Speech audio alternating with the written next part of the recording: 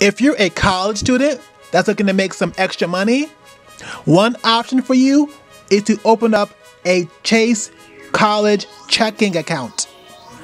In order to be eligible to receive the $100 from doing this, you must fulfill some requirements. To receive this bonus money of $100, the first thing you need to do is open up a new Chase college checking account and it must be approved. The second thing that you need to do is that you must complete at least 10 qualifying transactions within 60 days after opening up the account. Qualifying transactions include debit card purchases, online bill payments, checks paid, Chase Quick Deposit, Chase Quick Pay with Zelle, or direct deposits. And just to let you know, there is no monthly service fee from the time you open up the account until after your expected graduation date up to five years.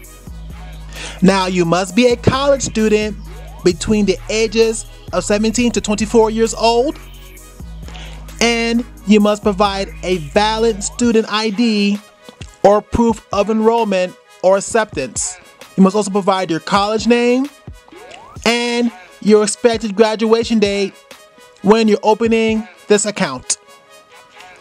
Now, after you graduate, you may be charged a $6 monthly fee. In order to avoid this $6 monthly fee, you must do one of the following things. So, the first option that you could take to avoid this monthly service fee of $6 is to make a direct deposit to this account. Or the second thing that you can do is to keep an average ending day balance of $5,000 or more in your checking account. You have until October 8th of 2020 to do this. So if you're a college student that wants to open up this checking account and get this money, the deadline to open up this checking account is October 8th of 2020. This offer is not available to existing Chase checking customers or customers whose accounts have been closed within 90 days or closed with a negative balance. Employees of JP Morgan Chase Bank, NA, and its affiliates are not eligible to receive this offer. Hopefully, I was able to give you some valuable information about how to make some extra money as a college student? If that was the case, can you please do me a big favor and press that like button? By doing this, you're really helping me out and you're gonna help this video to grow.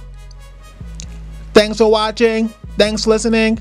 Also, don't forget to subscribe to my channel if you haven't done so already. Just press the subscribe button below this video.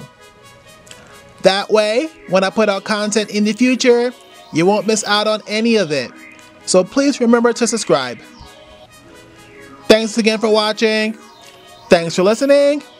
I hope that you have a blessed, wonderful day.